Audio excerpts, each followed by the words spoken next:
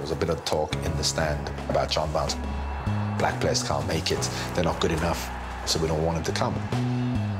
I think I was a pioneer for hope. There can be no more appropriate winners. The abuse, the name calling. This was just the way it was, completely accepted by everyone. Do you define yourself as English first or Jamaican? Neither. I define myself as John Barnes. Sports Life Stories continues with John Barnes tonight at 10 past 10 on ITV4.